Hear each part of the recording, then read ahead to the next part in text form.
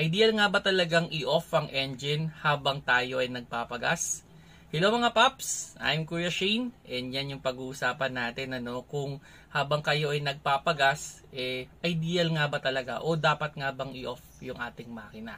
Okay, siguro kung pumupunta kayo sa mga gas station, may mga signage diyan no? May mga signage diyan na nagsasabi na i-off niyo yung engine while refilling the gas siguro alam niyo na kung ano ibig sabihin no? kasi baka daw mag-possible na mag-cause ng sunog or kung or spark or anything no so isa na yon pero para sa akin uh, isa sa mga good reason or good advantage or good edge ng naka-off yung sasakyan while refilling is kung sakali man na magkamali yung gasoline boy nang ikakarga sa'yo.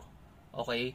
Kung naka-off kasi yung engine, then napansin ninyo na mali yung gas, mas madali siyang gawin. Kasi kailangan lang i-drain yung gas tank, linisan, palitan kung may, may, filter man doon, palitan, and o okay na yon.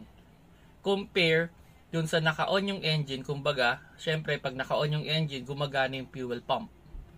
Okay? So, there's a tendency na yung habang nagre-refill, eh, hinihigop na rin yung fuel pump papunta sa ating engine. So, posibleng mas maraming uh, gawin or linisan or sabihin na nating there's a possibility na mag-cause ng issue sa ating engine yun kung mali yung fuel na naikarga. So, halimbawa, gasoline, then diesel yung naikarga, or diesel kayo, then biglang uh, gasoline yung naikarga. So, mas madali siyang gawin nang naka-off na napansin niyo Pero syempre, kung hindi niyo napansin, wala na yun. Talagang bigla na lang yung uh, pwedeng, pwedeng titirik na lang bigla dahil maling fuel or magkakaroon ng check engine.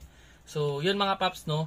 So, uh, para sa akin, on my own opinion, good advantage na or maganda na, na ino-off natin yung engine while nagre-refill para at least kung magkamali man, mas madali siyang ayusin.